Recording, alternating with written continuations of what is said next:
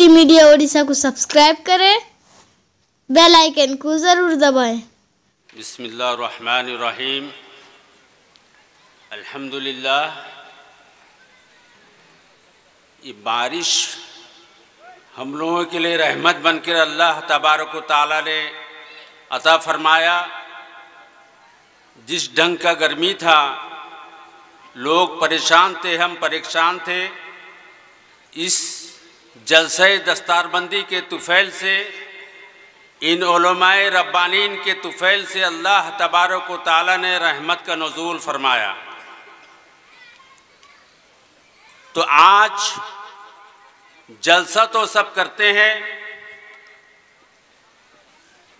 इज्तम सब करते हैं, लेकिन आज का ये जलसा, ये जलसे दस्तारबंदी है मिर्ज़ापुर के सरजमीन से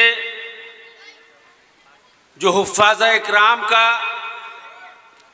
सिलसिला शुरू हुआ है इन ये हमारे अकाबरीन रहमुल्ला का दुआओं का तुफैल है, उनका तवज्जो है कि बारहा हजरात को बोलता आया हूँ कि देर आयत, दुरुस्त आयत देर से शुरू किए हैं।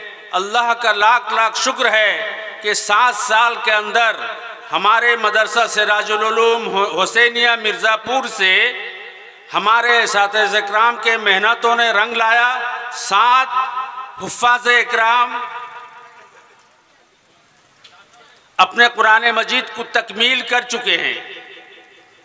तो मैं मखसूस बोलता हूँ, हमारा मकसद ये था कि हम एक मदरसा करें, हमारा मकसद यही था हमारे अकाबरीन का भी मकसद यही था कि हम इसको मकतबी शक्ल में चलाएँ। मकतब क्या होता है? मेरी माँ और बहनों,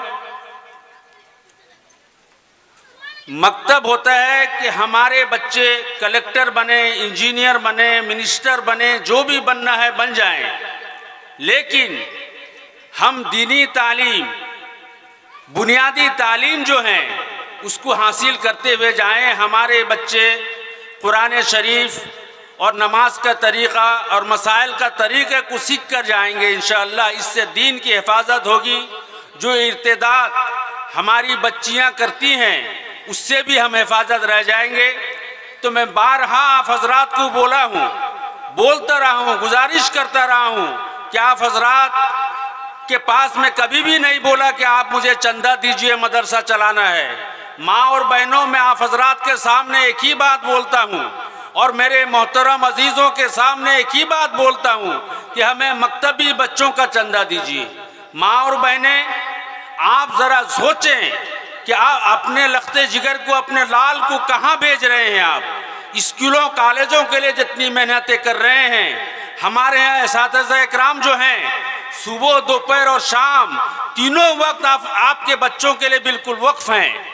मैं गुजारिश करता हूँ कि माँ और बहनों, आपका गोद जो है, अव्वल मदरसा है, अव्वल आंगनबाड़ी है, अव्वल शिशु भवन है। तो आप अपने बच्चों को, अपने ट्यूशनों पे इतने पैसे खर्च करके, स्कूलों में इतने पैसे खर्च कर करके जो भी पढ़ाते हैं, हम इसके मुखालिफ नहीं हैं। लेकिन गुजारिश करते हैं माँ और बहनों से कि अपने बच्चे और बच्चियों के ज़िंदगी संवरने के लिए इस इस्लाम की हिफाजत करने के लिए माँ और बहनें, आप जो हैं अपने बच्चे को, कोई एक बच्चा, आपका लखते जिगर बच्ची हो या बच्चा, वो घरों में ना रहे। आधा घंटा के लिए अल्लाह के वास्ते आप मकतबों में भेजिए। जो बच्चे मकतब में हमारे पढ़कर गए हैं, माँ और बहनें जानती हैं कि उनका बच्चा कितना सही अंदाज से कुरान शरीफ पढ़ लेता है, उर्दू पढ़ लेता है। माँ और बहनों आप जरा से अगर हरकत में आएँगी तो इंशाअल्लाह ये मिर्ज़ापुर का काया पलट हो जाएगा। चंद सालों के बाद ये बिल्कुल काया पलट हो जाएगा। माँ और बहनों, आप जब नेक थी, आप जब शरे एतबार पर्दों में रहती थी, आप जब दीन की बातों को, अहमियत को लेती थी तो आपके गोश्त से ऐसे ऐसे लाल पैदा हुए कि ज़मीन तो ज़मीन, आसमान को भी फख्र हासिल है। तो मैं हज़रत के सामने इतनी बात बोलने की ज़रूरत कर रहा हूँ, इसलिए कि हज़रत इसी मौजू पे आप हजरात को इनशाला बोलेंगे। आपके गोश्त से ऐसे ऐसे लाल पैदा हुए, ये ज़मीन तो ज़मीन, आसमान को भी फ़ख्र हासिल हुआ। हज़रत अबू बकर सिद्दीक माँ तेरी गोश्त से पैदा हुए।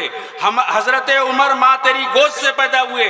जब तू हज़रत उस्मान गनी माँ तेरे गोश्त से पैदा हुए। हज़रत अली माँ तेरे गोश्त से पैदा हुए। और मैं माँ और बहनों से बोलता हूँ, गौसुल आज़म हज़रत अब्दुल कादिर जिलानी माँ तेरे गोश्त से पैदा हुए। तू जब पाँच वक्त नमाजी थी, तेरे माँ, तेरे वालदेन तुझे जब दीन की तालीम दिया था, तू जब तहजुद पढ़ती थी, चाश और इशराक की पाबंद थी तो तेरे गोश्त से ऐसे ऐसे लाल पैदा हुए, जब तू दीन को छोड़कर हट गई। तेरे माँ माँ और बाप तुझे दीनी तालीम नहीं दिए, बुनियादी तालीम नहीं दिए। मेरी माँ इस सरजमीन के अंदर ऐसे ऐसे भी तू लाल को पैदा की है, जो इस्लाम के खिलाफ, मुसलमान का नाम रहते हुए भी इस्लाम के खिलाफ इतने घिनौने काम किए हैं, ये ज़मीन उनसे बिल्कुल नफरत करता है।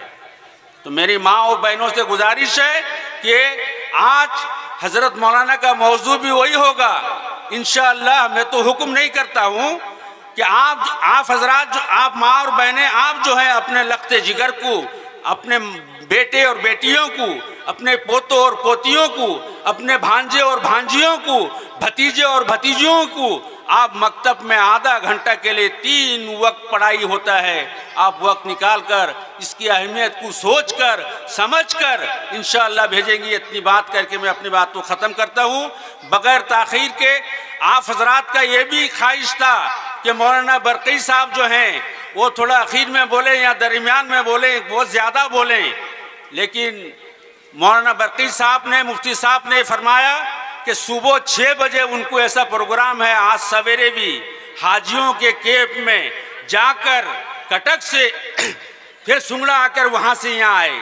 उनको पढ़ाना होता है और भी बहुत सारी जिम्मेदारियाँ होती हैं। तो आप हजरात, मुझे यकीन है कि हज़रत मौलाना के काम की अहमियत को समझते हुए आप हजरात जो हैं, हज़रत मौलाना पहले बोल के, फिर सुबह मदरसे में पढ़ाना भी है। अगर कहीं जाते हैं तो दरख्वास्त दे के भी जाना पड़ता है उसूल के तहत। तो हज़रत मौलाना मुफ्ती सैयद नकीबुल अमीन साहब बरकी मदजिल्लाली के सामने बगैर तखीर के अपने बयान को रखेंगे इन जो हजरात इधर उधर घूमते हों इधर उधर दुकानों में खड़े हैं वो हजरात आके जलसेगाह में बैठ जाएँ और जो वॉल्टियर्स हमारे रजाकार हजरात हैं, इधर उधर बैठे हैं, वो भी जलसेगा को आ जाएँ।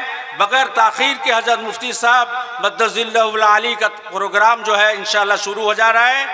उसके बाद दस्तारबंदी होगा। उसके बाद मौलाना मोहम्मद अली साहब हैं। उसके बाद वो बिहार के मौलाना हैं इन हमारा प्रोग्राम चलता रहेगा। तो बगैर ताखिर के हज़रत मुफ्ती साहब जो हैं तशीफ अगर वीडियो अच्छी लगी तो लाइक करें और तमाम दोस्तों को शेयर करें।